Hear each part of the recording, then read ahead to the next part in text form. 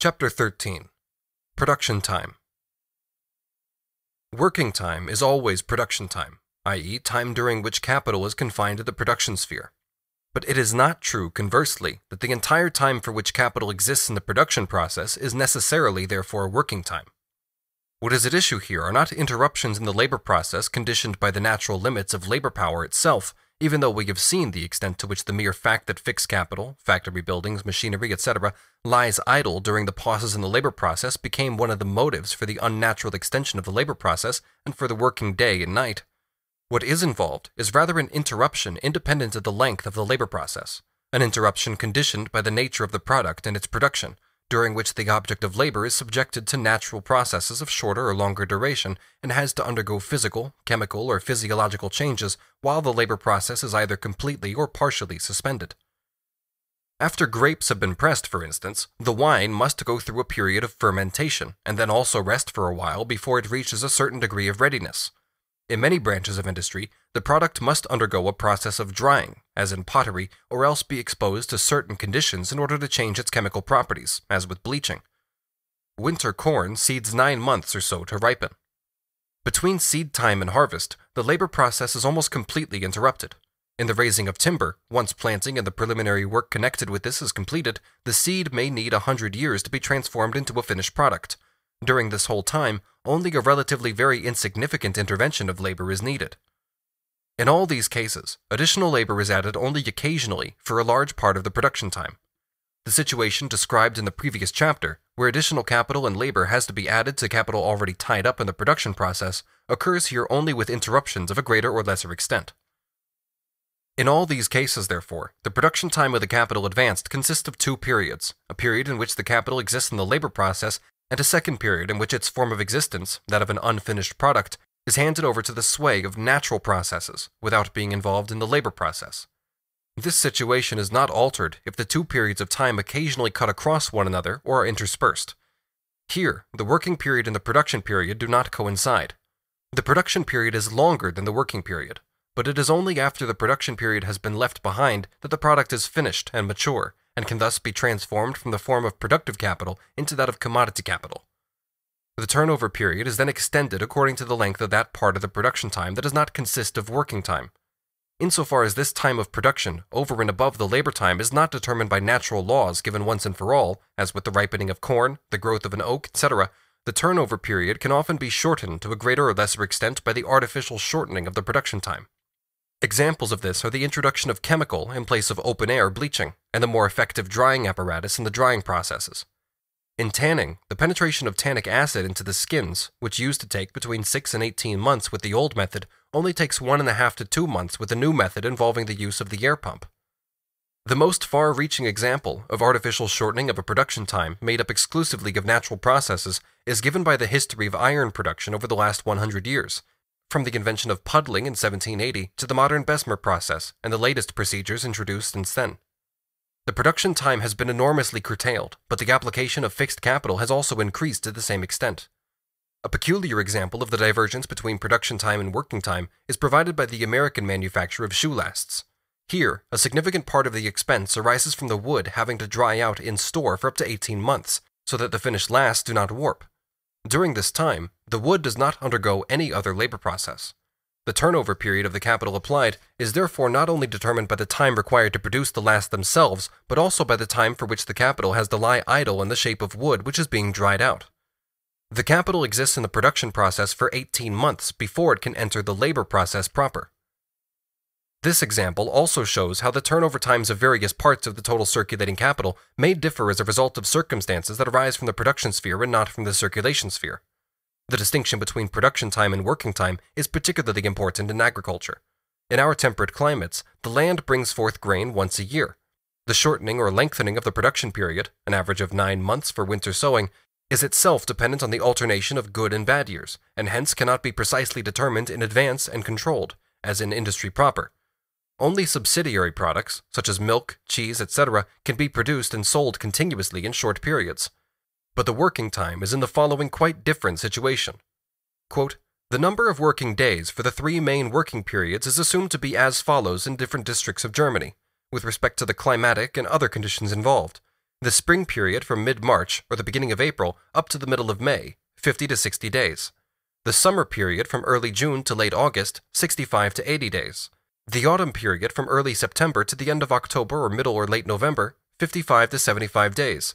As far as winter goes, there is simply the work suited to that period, such as the haulage of fertilizer, wood, goods for the market, building materials, etc. End quote from Kirchhoff. Thus, the more unfavorable the climate, the more the agricultural working period, and hence the outlay of capital and labor, is compressed into a short interval, as for example in Russia. Quote, in some of the northern districts, field labor is only possible during from 130 to 150 days in the course of the year, and it may be imagined what a loss Russia would sustain if out of 65 million of her European population, 50 million remained unoccupied during six or eight months of winter, when all agricultural labor is at a standstill. Besides the 200,000 peasants who work in Russia's 10,500 factories, particular cottage industries have grown up everywhere in the villages. Quote, there are villages, for instance in Russia, in which all the peasants have been for generations either weavers, tanners, shoemakers, locksmiths, cutlers, etc. This is particularly the case in the gubernias of Moscow, Vladimir, Kaluga, Kostroma, and St. Petersburg. These cottage industries, incidentally, are already being pressed more and more into the service of capitalist production. For example, merchants supply the weavers with warps and weft, either directly or by intermediate agents. Abbreviated by reports from HM secretaries of embassy and legation on the manufactures, commerce, etc. We see here how the distinction between production period and working period, with the latter forming only a part of the former, constitutes the natural basis for the unification of agriculture with rural subsidiary industries, just as these, in turn, are points of vantage for the capitalist, who first intrudes in his capacity as merchant. Insofar as capitalist production later manages to complete the separation between manufacture and agriculture, the rural worker becomes ever more dependent on the merely accidental subsidiary employments, and his condition thereby worsens. As far as capital is concerned, as we shall see later on, all these differences in the turnover balance out. Not so for the worker. In most branches of industry proper, as well as in mining, transport, etc., production proceeds evenly and the same working time is worked year in and year out, apart from fluctuations of price, disturbances of business, etc., and abnormal interruptions, the outlay of capital going into the daily circulation process is evenly distributed. While market conditions remain the same, therefore, the reflux or renewal of circulating capital is distributed over the whole year in equal portions. However, in those investments of capital where working time forms only one part of the production time, there is a great unevenness in the outlay of circulating capital in the course of the different periods of the year, inasmuch as the reflux only follows, at one stroke, at a time prescribed by natural conditions. On a given scale of business, therefore, i.e., with the same volume of circulating capital advanced, this must be advanced in larger amounts at once and for a longer time than in those businesses with continuous working periods. The life of fixed capital is significantly different here from the time in which it actually functions productively. With this difference between working time and production time, the time during which the fixed capital is utilized is of course constantly interrupted for a longer or shorter interval, in agriculture, for instance, with the use of draft cattle, implements, and machines. Insofar as this fixed capital consists of draft animals, it continues to require the same, or almost the same, outlay on fodder, etc., as during the time in which it operates. In the case of dead means of labor, non use also gives rise to certain depreciation. The product thus always becomes dearer, since the transfer of value to the product is not calculated according to the time for which the fixed capital functions, but rather according to the time in which it loses value. In these branches of production, it is a condition of normal use that fixed capital should lie idle, whether or not this still involves running costs, just as in spinning a condition of normal use is the loss of a certain quantity of cotton. And in the same way, in every labor process, the labor power expended unproductively, but unavoidably so under normal technical conditions, counts just as much as the productive. Every improvement that reduces the unproductive expenditure of means of labor, raw materials, and labor power also reduces the value of the product. In agriculture, the two things are combined the long duration of the working period and a great difference between working time and production time. Hodgkin correctly notes on this point quote, The difference of time, although he does not differentiate here between working time and production time, required to complete the products of agriculture and of other species of labor is the main cause of the great dependence of the agriculturalists. They cannot bring their commodities to market in less time than a year. For that whole period, they are obliged to borrow of the shoemaker, the tailor, the smith, the wheelwright, and the various other laborers, whose products they cannot dispense with, but which are completed in a few days or weeks. Owing to this natural circumstance, and owing to the more rapid increase of the wealth produced by other labor than that of agriculture, the monopolizers of all the land, though they have also monopolized legislation, have not been able to save themselves and their servants, the farmers, from becoming the most dependent class of men in the community. End quote from Hodgkin, Popular Political Economy, published in London in 1827. All methods in agriculture, which on the one hand distribute expenditure on wages and means of labor more evenly over the whole year, and on the other hand shorten the turnover by diversifying the products and thus making different crops possible during the year, require an increase in the circulating capital laid out on production, on wages, fertilizer, seed, etc. This is the case with the transition from the three field system, with fallow, to the system of crop rotation without fallow. Also with the undersowing system in Flanders.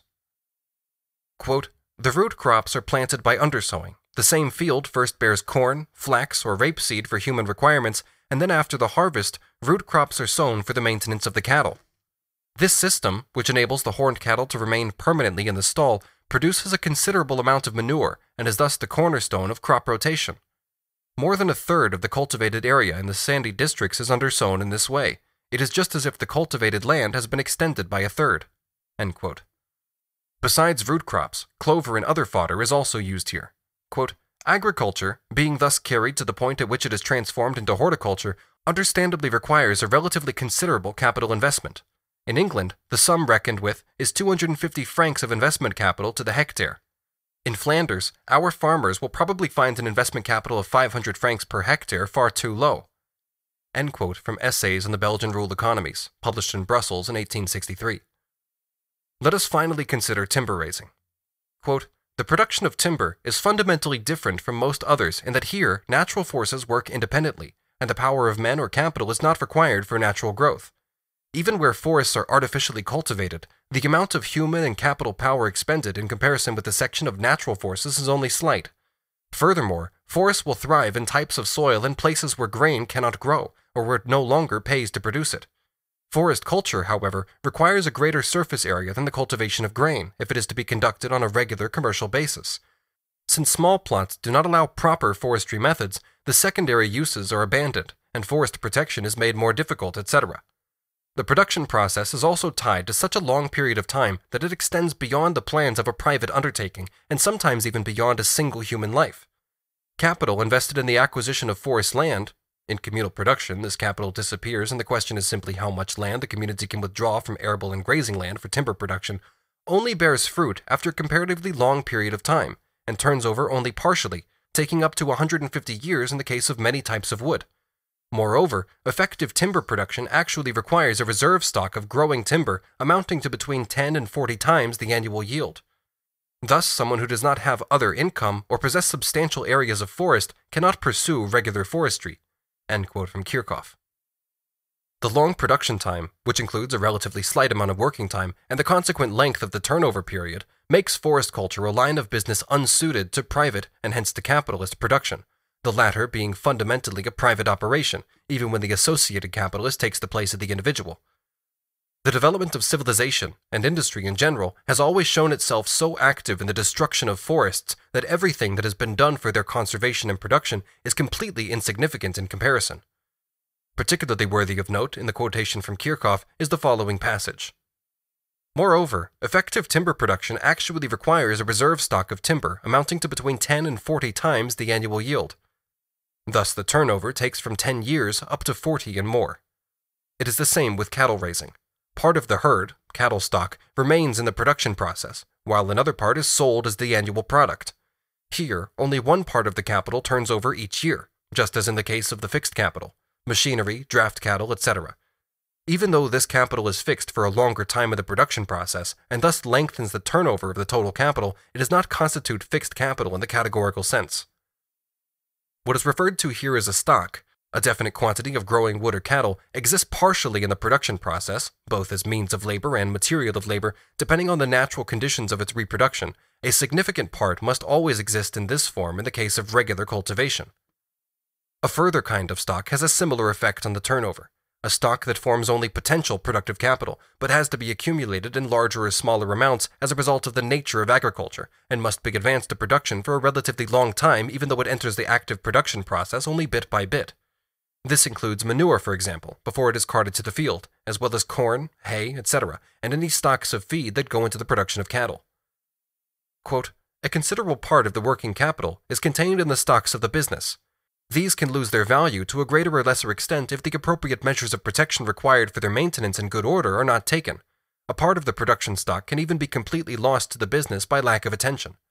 What is principally required in this connection is painstaking attention to the barns, fodder, and grain lofts and cellars, the storage places that must always be kept well closed and also kept clean, ventilated, etc.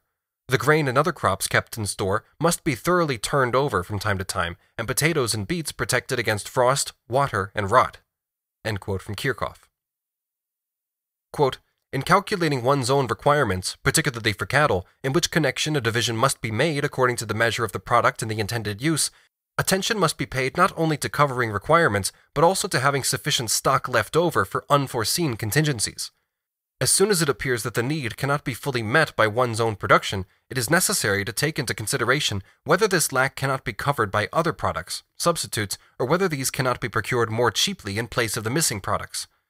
If there should be a lack of hay, for example, this can be made up by root crops with added straw. In general, the material value and market price of the different products must be constantly borne in mind, and the consumption regulated accordingly. If oats are dearer, for instance, while peas and rye are relatively cheap, then it will be advantageous to replace some of the oats for the horses with peas and rye, and sell the superfluous oats. In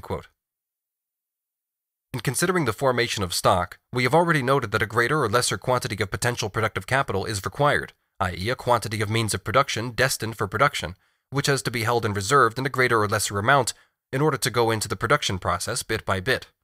We noted in this connection that with the capital investment of a given scale, the size of this production stock depends on the greater or lesser difficulty of its replacement, its relative proximity to the supplying markets, the development of means of transport and communication, etc. All these circumstances affect the minimum capital that must exist in the form of productive stock, and thus the period of time for which advances of capital have to be made, and the volume of capital that has to be advanced at once.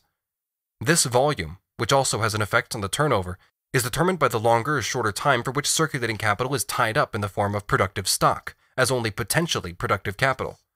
On the other hand, insofar as the extent of this stagnation depends on the greater or lesser possibility of rapid replacement, on market conditions, etc., it itself arises from the circulation time, from circumstances that pertain to the circulation sphere.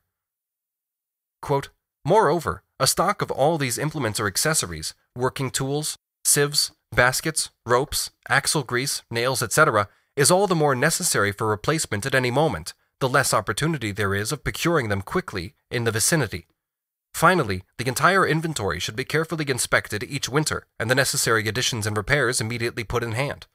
Whether a larger or smaller stock of implements is generally needed is principally determined by local conditions. Where there are no craftsmen or shops in the vicinity, a greater stock must be kept than where these are to be found in the locality or very close by. If the requisite stocks are procured in greater quantities at once, under otherwise similar conditions, the advantage in cheap purpose is generally obtained, provided that a suitable point of time has been chosen, but of course a greater sum is then withdrawn at once from the current capital, which cannot always be dispensed with in the business. End quote from Kirchhoff. The difference between production time and working time, as we have seen, permits a wide range of possibilities. The circulating capital can be in its production time before it enters the actual labor process, as in the manufacture of lasts. It may be still in production time after it has undergone the actual labor process, as in with wine and seed corn.